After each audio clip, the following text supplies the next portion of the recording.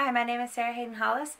After working on Lucidchart and working on the ERIC procedural mapping activity, I came up with my own abstract.